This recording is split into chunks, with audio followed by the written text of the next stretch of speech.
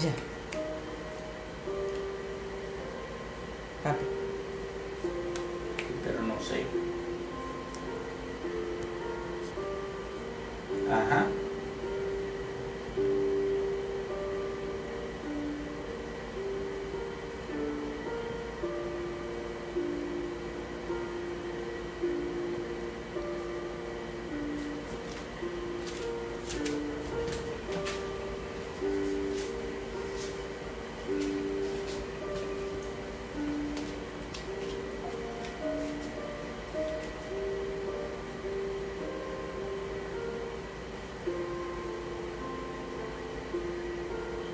Gloria al Señor, ya tenemos nuevamente conexión.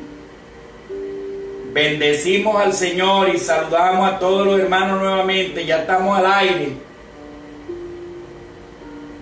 Aleluya. Bendecimos a Dios. Vayan alabando al Señor y conéctense nuevamente, que ya vamos a continuar el programa. Alabado sea Dios. Gloria al Señor.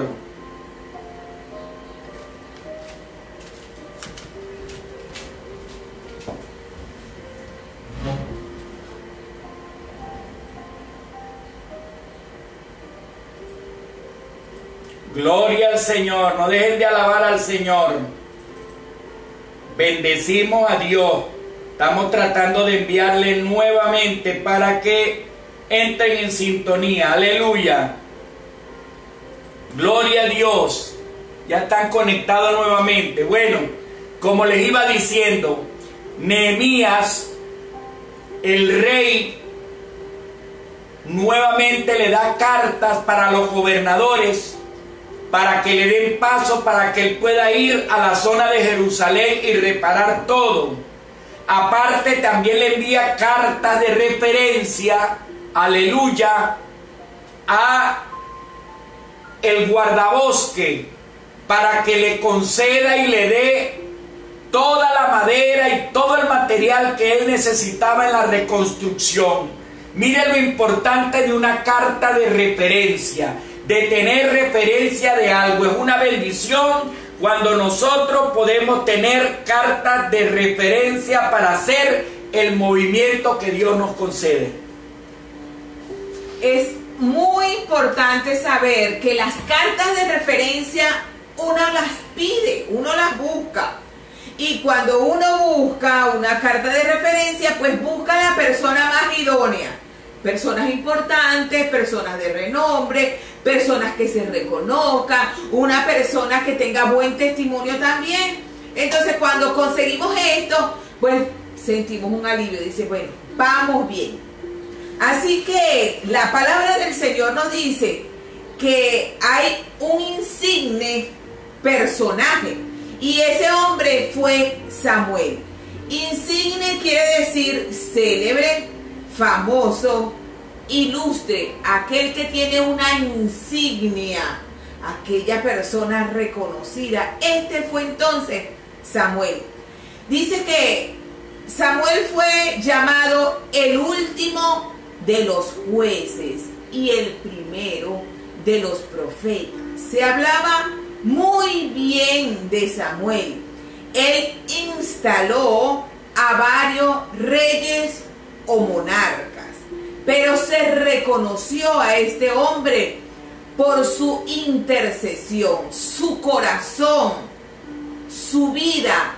Estaba dispuesta, era disponible en cualquier momento, uno los podía conseguir orando, él intercedía por el pueblo del Señor y se consideró también el mejor juez de Israel.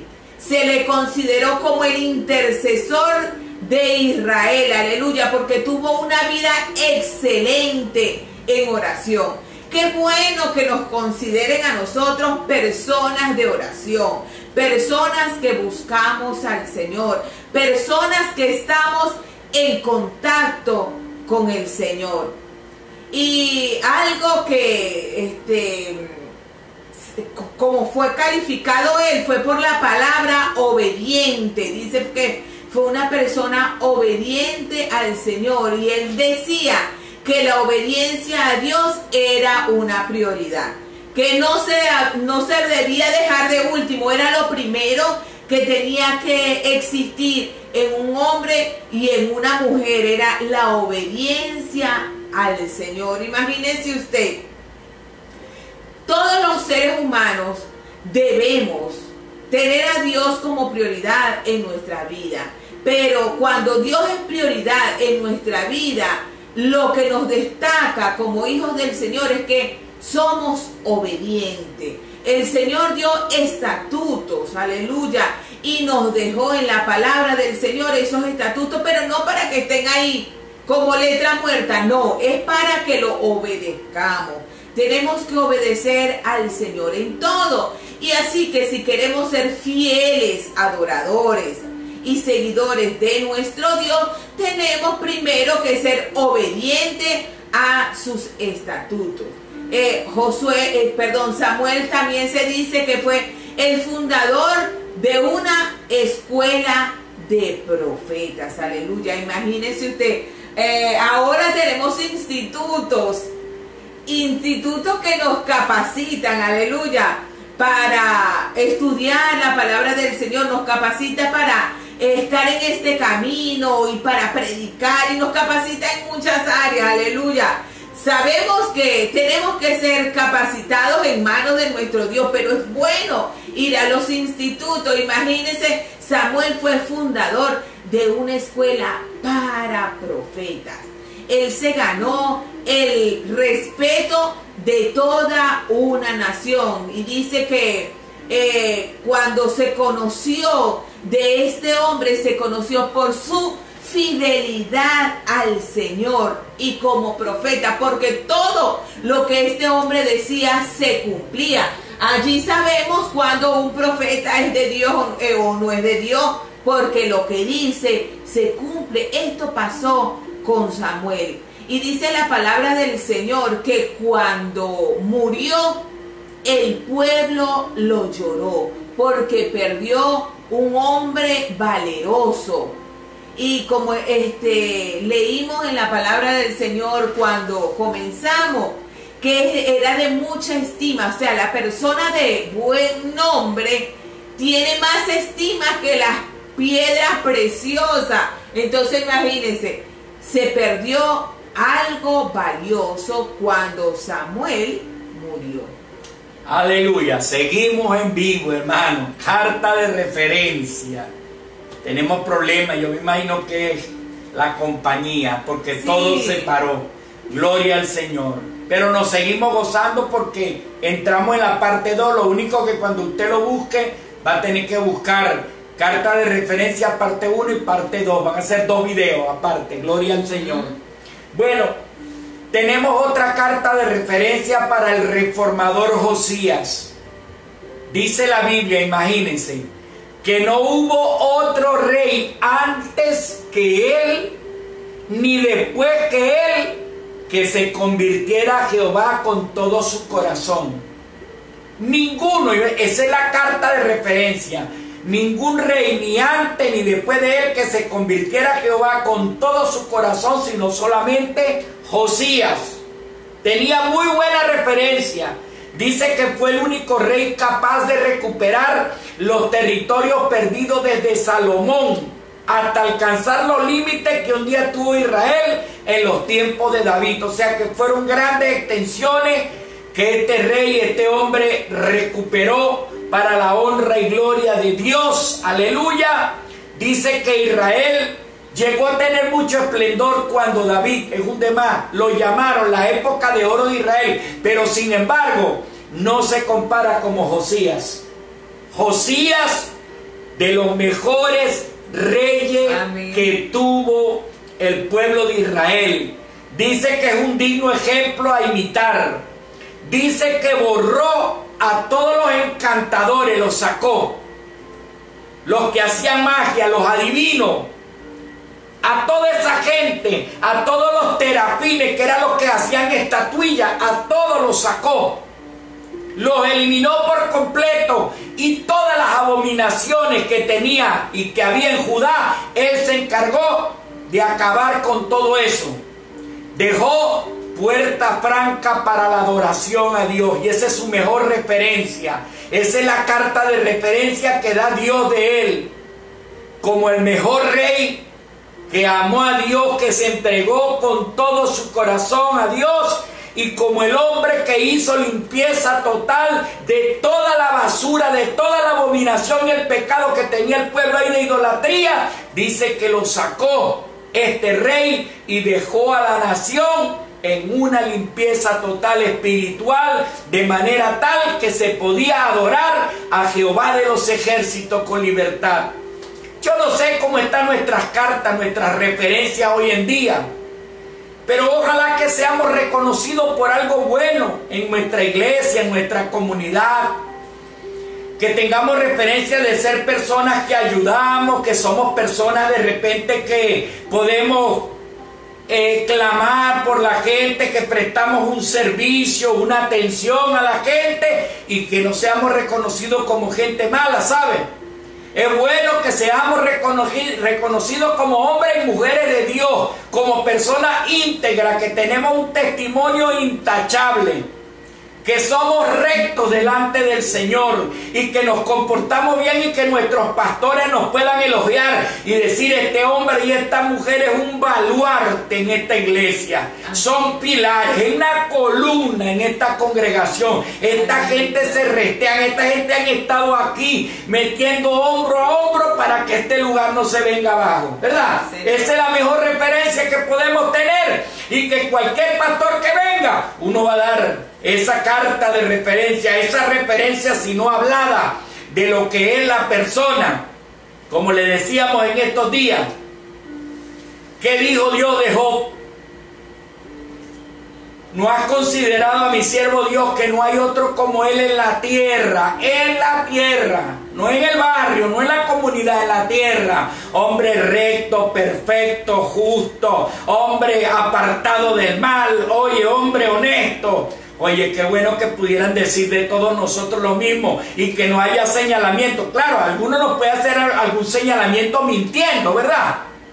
Pero que si es mintiendo no hay problema, pero que lo que digan de nosotros, que sea malo, no sea verdad, sino que sean inventos de la gente. Así que tratemos delante de la presencia del Señor de mantener y de tener una buena referencia, una buena carta, una buena recomendación de parte de Dios y de parte de los, de los hombres para que el nombre de Cristo sea exaltado por siempre. Aleluya. Qué hermoso, ¿verdad? Poder tener un testimonio limpio y que la gente diga así, yo meto la mano por él, como decían los venezolanos muchas veces, yo meto la mano en el fuego por él porque de verdad es buena gente, es buen cristiano da testimonio. Y mire, eh, leyendo la palabra, el Señor en una oportunidad le preguntó a sus discípulos, ¿y quién dice la gente que soy yo? Porque es bueno saber qué está diciendo la gente de nosotros. ¿Cuál es la referencia que tiene uno en la comunidad? Exacto, en la comunidad, en la iglesia, en su trabajo. Es muy importante porque mire, nosotros somos embajadores del Señor. Y un embajador es el que es enviado a representar a un país en otro lugar. Así que nosotros somos enviados a representar en esta tierra el reino de los cielos. Sí, Señor. Así que nuestro testimonio tiene que ser intachable y hablar bien nuestro testimonio, lo que hacemos, lo que decimos, cómo actuamos, hasta cómo miramos, porque uno con la mirada habla y dice, mira, aquella persona cómo se comporta. Verdaderamente ese, esa persona, o es, sea hombre o sea mujer, sigue, es buen seguidor del Señor Jesucristo y hablamos y predicamos porque somos cartas leídas. Aleluya. Es bueno que analicemos hoy, ya que estamos concluyendo, cómo está nuestra referencia. ¿Será que el, el del abasto, el de la bodega nos quiere fiar? O dice, no, yo a este o esta no le pido porque esa no paga. Me han dicho los otros negocios que no paga. ¿Cuál es la referencia que tienen de nosotros? ¿Cuál es la recomendación que dan de nosotros? No, mira, no le des trabajo porque ese es un alborotador, empieza a levantar toda la gente para que haya eh, bochinche en las compañías. Ese le gusta dársela de sindicalista y le gusta armar lío aquí, problemas. Es importante saber cuál es la referencia que tenemos. No, no es el que arma los escándalos en la iglesia, el que levanta a la gente, el que destruye, el que siempre hay división por culpa de él o de ella. Hay que tener mucho cuidado. Sí. ¿Cuál es la carta de referencia que tenemos? ¿Qué habla? ¿Qué dice de nosotros? Tengamos mucho cuidado y pidámosle al Señor que el Señor nos bendiga y que el Señor nos ayude para que nosotros podamos seguir adelante con su ayuda. Vamos a darle gracias al Señor en esta tarde. Señor, te bendecimos, Padre. Tú dijiste en tu palabra que no importa que dijeran toda clase de mal contra nosotros, pero mintiendo, Señor. Permite que nosotros seamos de un testimonio claro. Dios mío, que nuestras cartas de referencia, que la referencia que tenga la gente de nosotros sean buenas. Dios mío, que la gente piense y hable bien de nosotros si en verdad lo estamos haciendo en rectitud delante de ti. Señor, gracias por tu palabra. Tú quieres que nosotros vivamos, Señor, conforme a tu palabra. Que tengamos una vida recta y santa, pura delante de ti. Te pedimos que tú nos ayudes y que si en algo estamos fallando, estamos faltando, podamos cambiar para bien. Podamos mejorar, Señor, nuestro carácter, nuestra manera de ser, nuestro comportamiento, Señor. Que donde estemos la gente vea el testimonio de cada uno de nosotros. Dirígenos, Señor. Ayúdanos y guárdanos. En el nombre de Cristo Jesús. Amén. Y amén. Gloria a Dios. Vamos a seguir saludando. Antes que perdiéramos la señal, estaba conectado Natanael Andrón Calé. Dios te bendiga, hijo. Dios te guarde. Gracias por estar conectado. Lamentablemente la señal, pues, me imagino que es Spectrum, porque ese es la- el que tenemos y creo que no está muy bueno, pues todo se paró. Sí. Gloria al Señor. Dice también la hermana Sandra de Hilerio, le, agrega, le agradecemos, dice que está perfecto ya Amén. todo. Muchas gracias hermana por informar. ¿Tiene alguien allí, pastora? Eh, bueno, la, no, no, todos los que estaban, gracias a Dios. Aquí tenemos a la hermana Fabiolita Cartagena desde Ecuador, de, Amén. de Gloria a Zabala de Calderón. Dice bendiciones, pastor. Dios le bendiga. Saludo desde Ecuador. Aleluya. Amén. Este, la, la hermana doctora Shirley Alvira está Ajá, conectada. está conectada. Dios me le bendiga, mi hermana. Gracias por su apoyo. Dios le guarde a su familia y seguimos adelante.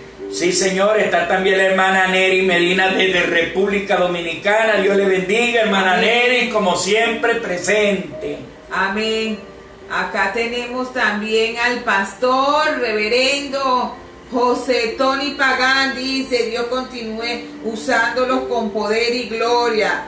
Amén, ministro, muchas gracias. Dios le bendiga y saludos para su amada esposa. Y felicidades porque tuvo esta semana de cumpleaños. Bendiciones Amén, para usted, Dios le guarde. Feliz cumpleaños. La hermana Inta Abdi Romero también, Dios le bendiga, Dios le guarde. Aleluya. Amén. Es la tía de la muchacha, creo que se conecta de yo. Ella es la tía. Ajá. Dios le bendiga, Dios le guarde. Aleluya. Por acá, bueno, se conectó nuevamente.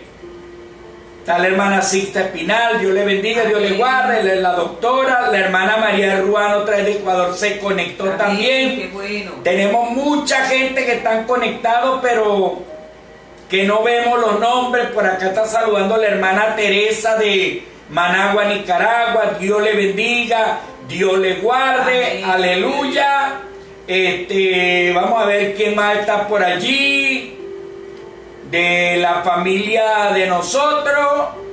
Está Catherine Dicla por allí conectada, me imagino, con la señal de afuera. Así que Dios bendiga a Catherine, a David, bendiga, hija. a la señora. Dicla, a Judy, a todos los que estén allí. Dios les bendiga y les guarde. El doctor Miguel Ángel Alejo también está conectado. Dios le bendiga. Eh, de la iglesia Espíritu Santo no sé porque perdimos el hilo acá. Aleluya. Nos gozamos. Pero bueno, aquí estamos, disfrutando de la bendición del Señor. A pesar de todo, el teléfono registra una gran cantidad que están conectados allí, pero no lo vemos. Sí. Tenemos una cantidad bastante alta, pero lamentablemente no los vemos. Pero les bendecimos en el nombre del Señor y le agradecemos por la conexión, sobre todo allí en Ecuador, donde la gente se reúne. Dios bendiga a, a la hermana, la que dijimos ahorita, la hermana Fabiolita, Cartagena y la gente que se reúnen allí. Bendición y bendición al hermano Conan también con su grupo. Amén. Hoy tenemos una pequeña cantidad de personas. Aquí no hay nadie. No, no. ¿Seguro? No, no. No, Todo lo que está en azul. ¿Qué dice Sí. todo? No, la hermana Marisa y Nicolás Babinsu. Ajá. Ok.